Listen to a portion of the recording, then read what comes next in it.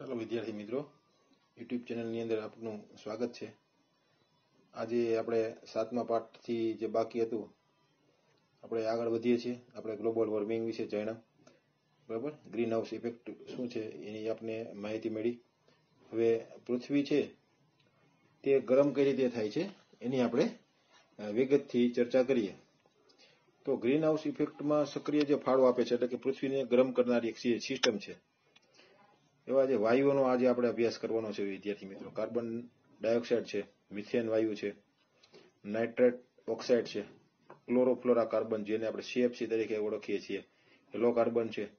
એ green house વાયુઓ તરીકે ઓળખવામાં આવે છે. એટલે કે આ ગ્રીન હાઉસ વાયુઓ છે, એટલે કે જે ઇફેક્ટ જે ઊભી થઈ છે, કે ગ્રીન હાઉસ એટલે કે જે આ પૃથ્વીની જે સપાટી છે ઉપરની, એને આ બધા ગરમ કરનારા આ બધા વાયુઓ છે, એમ આપણે કહી શકીએ. આ વાયુનું પ્રમાણ આજે વધતું જાય છે.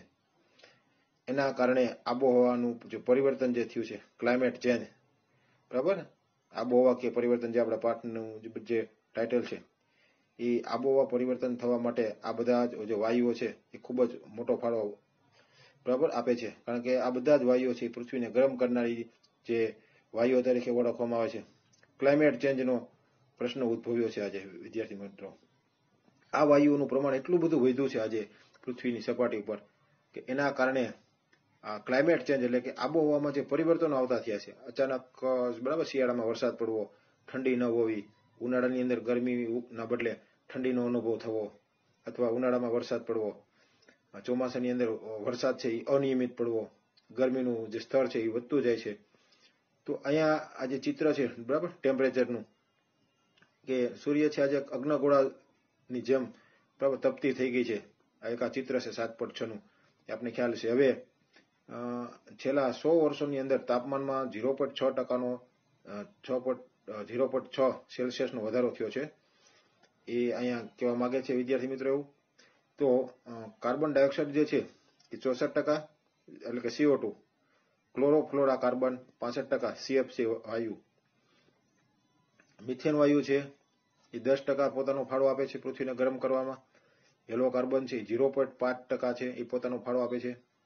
તો અહીંયા કાર્બન ડાયોક્સાઇડ વાયુ અને ક્લોરોફ્લોરા કાર્બન જે છે એ સૌથી વધારે પૃથ્વીને ગરમ કરનારા વાયુઓમાંના એક છે, વિદ્યાર્થી મિત્રો. તો આ વાયુઓ છે એનું ઉત્સર્જન કઈ રીતે એટલે કે કઈ રીતે પેદા થાય છે અને પૃથ્વીને ગરમ કરે છે એ આપણે નેક્સ્ટ અભ્યાસ કરવાનો છે બધા વાયુઓનો. હવે આપણે જોઈએ સાત પોઈન્ટ સાતમાં આ બધા વાયુઓ જોઈએ આપણે. જોયા બરાબર? તો વિશ્વનો દરેક માનવી ચાર પોઈન્ટ પાંચ મેટ્રિક ટન સીઓ ટુ છોડે છે. મેટ્રિક ટન એટલે કે એક ટન છે. એક ટન એટલે કે એક હજાર કિલોમીટર જેટલું થાય. તો મેટ્રિક ટનની આપણે વાત કરીએ તો એનો અંદાજો આપણે લગાવી શકીએ છીએ કે કેટલા હજારો કિલોમીટર હજારો કિલોગ્રામ વાયુ છે તે માનવી છે એ આ પૃથ્વી પર છોડતો થયો. ચાર પોઈન્ટ પાંચ સમગ્ર વિશ્વના લોકો. એમાં સરેરાશ કાઢીએ. તો એમાં બધા આવી જાય. ભારત આવી જાય, અમેરિકા આવી જાય, બ્રિટન આવી જાય, ચીન આવી જાય, જાપાન આવી જાય, બધા દેશો આવી જાય છે. આથી સો વર્ષ પહેલા, એટલે કે આજથી સો વર્ષ પહેલા આપણે વાત કરીએ, તો સીઓ નું પ્રમાણ બસો પંચોતેર પીપીએમ હતું. એક આ માપવા માટેનું માધ્યમ છે, બરાબર? વાયુઓનું. આજે ત્રણસો પચાસ પીપીએમ થયો છે. એટલે કે વધારો થયો છે, વિદ્યાર્થી મિત્રો. સો વર્ષોમાં ઘણો બધો કાર્બન ડાયોક્સાઇડ વાયુ છે, એનો વધારો થયો છે, વિદ્યાર્થી મિત્રો.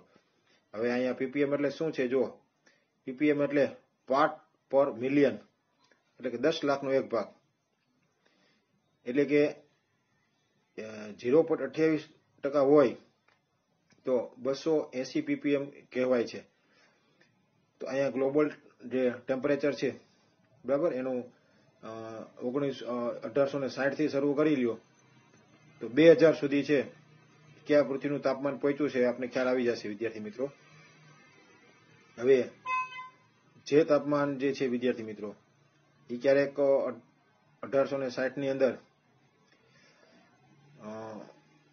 માઇનસથી નીચે હતું ઝીરો પોઈન્ટ ચાર, બરાબર?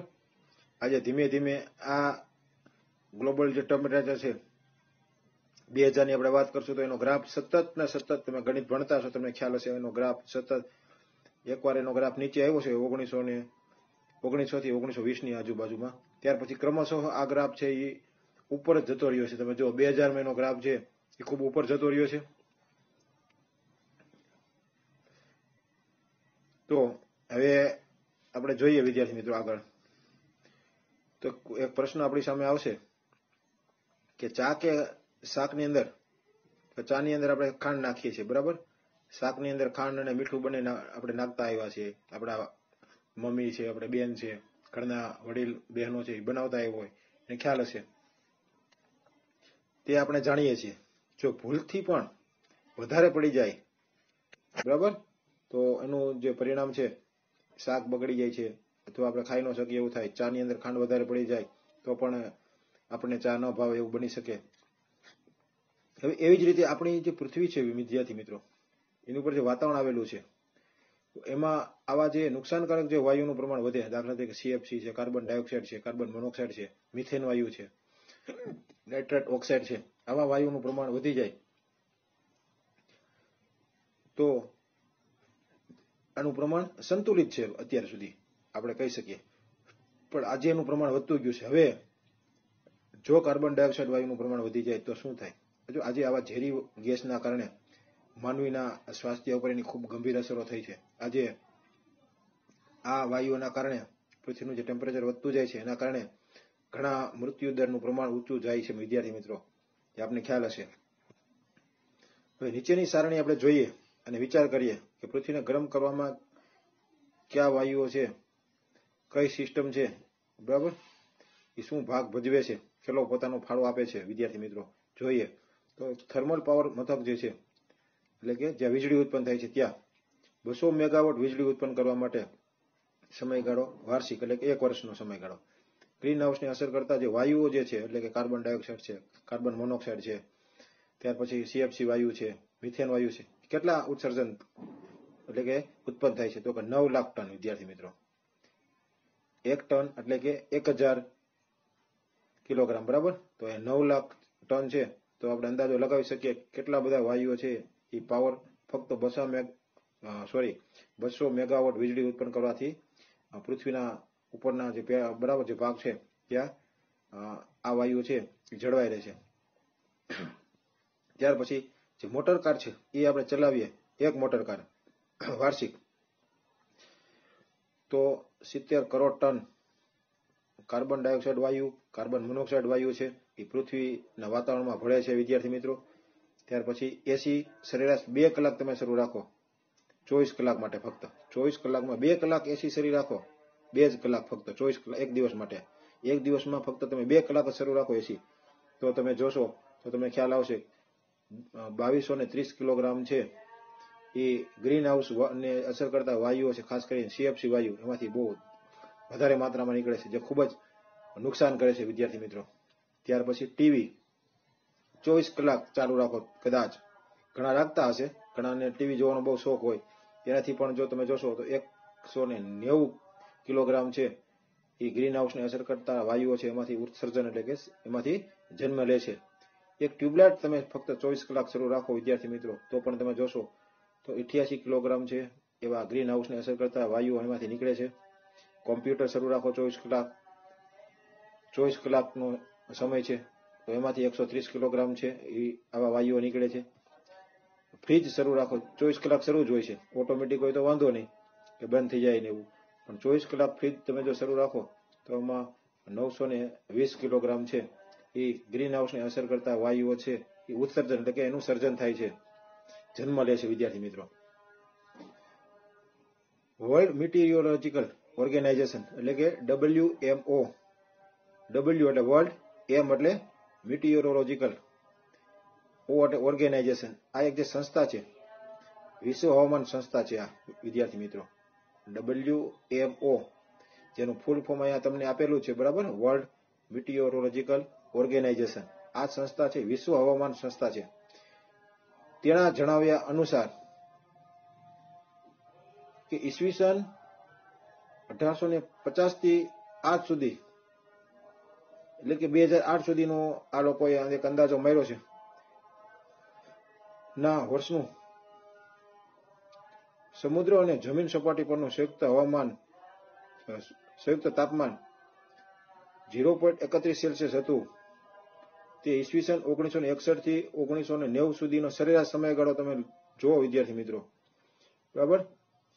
તો ત્રીસ વર્ષના આ જ સમયગાળામાં, ફક્ત ત્રીસ જ વર્ષમાં પેલો અઢારસો ને પચાસથી બે હજાર આઠ સુધીનું હતું સરેરાશ તાપમાન, બરાબર? ઝીરો પોઈન્ટ એકત્રીસ સેલ્સિયસ હતું. હવે આ આપણે ફક્ત ત્રીસ વર્ષનો એક સમયગાળો લઈ લઈએ, વિદ્યાર્થી મિત્રો. આ ગાળામાં સરેરાશ તાપમાન છે એ ખૂબ વધારે હતું. જે ઝીરો પોઈન્ટ એકત્રીસ હોવું જોઈએ, એના કરતા વધારે તાપમાન આ ત્રીસ વર્ષના સમયગાળામાં હતું, વિદ્યાર્થી મિત્રો. તો આ એક, બરાબર આંખ ઉગાડનારી, બરાબર, એક આગાહી કહી શકાય આ હવામાન ખાતાની કે આ જે ગ્રીન હાઉસને અસર કરતા જે વાયુઓ છે, એ ખૂબ જ ઝડપથી આજે પૃથ્વીના વાતાવરણની અંદર એને ગરમ કરી રહ્યા છે અને એનાથી આજે ઘણી બધી જે અસરો છે, એ દરેક સજીવ સૃષ્ટિ ઉપર પડી રહી છે. હવે આપણે બધા વાયુઓનો બરાબર અભ્યાસ કરવાનો છે. મિથેન વાયુ સીએચ ફોર ઈસવીસન સત્તરસો ને પચાસમાં ત્રણસો પંદર પીપીએમમાંથી બે હજાર પાંચમાં એક સત્તરસો ને ચોસઠ પીપીએમ જેટલો ધરખમ વધારો છે એ મિથેન વાયુમાં થયો છે, વિદ્યાર્થી મિત્રો. શા માટે મિથેન વાયુ છે એનું ઉત્સર્જન વધારે થયું છે? હવે આપણે જોઈએ પેલા આટલું જાણવાની અંદર. એક વ્યક્તિ પ્રતિદિન જે વસ્તુઓ ગ્રહણ કરે છે, જેમાં લગભગ એસી ટકા વાયુ હોય છે, આપણે કોઈ પણ વસ્તુ ખાઈએ, રોટલી ખાઈએ છીએ, શાક ખાઈએ છીએ, બરાબર? પછી બીજો કોઈ પ્રવાહી પીએ છીએ. અથવા બીજો કોઈ આપણે નાસ્તા તરીકે કોઈ જંક ફૂડ ખાઈએ છીએ કે કોઈ પણ વસ્તુ ખાતા એમાં એસી ટકા વાયુ હોય છે વિદ્યાર્થી મિત્રો. એક વ્યક્તિ પ્રતિદિન એક જ વ્યક્તિનો આપણે અહીંયા કે છે, એક જ વ્યક્તિ બાવીસ હજાર વખત શ્વાસ લે છે વિદ્યાર્થી મિત્રો. અને શ્વાસમાં આપણે ખબર છે કે આપણે ઓક્સિજન લઈએ છીએ. આમ એક વ્યક્તિ પ્રતિદિન ઓક્સિજન વાતાવરણમાંથી, આમ એક જ વ્યક્તિ પ્રતિદિન ઓક્સિજન યુક્ત વાતાવરણમાંથી સોળ કિલોગ્રામ વાયુ છે એ સેવન કરે છે. સોળ કિલો ઓક્સિજન વાયુ આપણે આપણા શ્વાસમાં લઈએ છીએ, વિદ્યાર્થી મિત્રો. એવું અહીં કહે છે વિદ્યાર્થી મિત્રો. તો આપણે ખ્યાલ આવશે. હવે જો દાખલા તરીકે ઓક્સિજન વાયુ છે એ ખૂબ જ ઓછા પ્રમાણમાં છે પૃથ્વી ઉપર. અને જો વસ્તી વધારો થાય તો આ ઓક્સિજન વાયુ છે. બરાબર? એ આપણે લઈએ અને આપણે કાર્બન ડાયોક્સાઇડ વાયુ છે એ શ્વાસોશ્વાસની ક્રિયા દ્વારા છોડીએ છીએ. એ આપણે ખ્યાલ છે. તો હવે આપણે કારણ જોઈએ. પશુઓના ઉચ્છવાસ અને ચયાપચયની ક્રિયા. જે પશુઓ જે શ્વાસ, શ્વાસાશ્વાસની જે ક્રિયાઓ કરે છે, એમાં આપણે બધા આવી જાય. પછી પાલતુ પ્રાણીઓ આવી જાય, જંગલી પ્રાણીઓ આવી જાય અને ચયાપચયની ક્રિયા એટલે કે પાચનની ક્રિયા કરે છે. જો ઢોર છે, એ પેલા ખૂબ ખાઈ લે છે. પછી બેઠા બેઠા ઓગાડતા હોય છે. બરાબર? ચાવતા હોય છે મોટામાંથી કાઢીને. એના દ્વારા મિથેન વાયુનું ઉત્સર્જન થાય છે, વિદ્યાર્થી મિત્રો. ચૌદ કરોડ ટન બરાબર? આ પશુઓના શ્વાસોશ્વાસની ક્રિયા અને ચયાપ્રચયની ક્રિયા દ્વારા થાય છે, વિદ્યાર્થી મિત્રો.